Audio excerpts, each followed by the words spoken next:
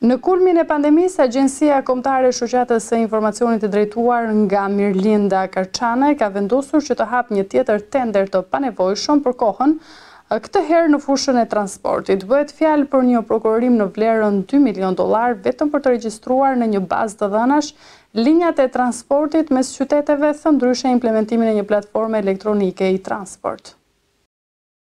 Në faqen e saj zyrtare, Agjencia Kombëtare e Shoqërisë së Informacionit bën një justifikim të gjatë duke cilësuar këtë një risi të re e cila do të lehtësojë transportin e qytetarëve. Ndërkohë nga ana tjetër nuk detajohet se nga është nxjerrë kjo kosto kaq e lartë pikërisht për këtë shërbim kompjuterik. Dokumenti mban firmën e drejtores së AKSH-it, Mirlinda Karçanaj. Por a është vërtet ky tender i domosdoshëm për qytetarët në këtë moment që po kalon vendi? Prokurimi i Agjencisë Kombëtare të Shoqërisë së Informacionit, vjen në një kohë kur buxheti i qeverisë është në vështirësi të mëdha për shkak të krizës ekonomike të shkaktuar nga koronavirusi, por edhe nga tërmeti i njëzet e gjashtë nëntorit dhe kur të ardhurat minimale në arkën e shtetit nuk po arrijnë dot të financojnë shërbimet bazë, si ato në shëndetësi. Mjafton të kujtosh faktin se për shtimin e testeve për Covid nëntëmbëdhjetë, Si dhe rritjen e shtretërve nëpër spitale, qeveria i është drejtuar Bankës Botërore për të marrë pesëmbëdhjetë milionë euro borxh. Apo që sot, me mijëra familje të pastreha nga tërmeti tragjik i njëzet e gjashtë nëntorit, enden rrugëve për të marrë ndihmë. Fakti tjetër që e bën këtë tender të panevojshëm është situata aktuale ku ndodhet sot transporti publik në Shqipëri,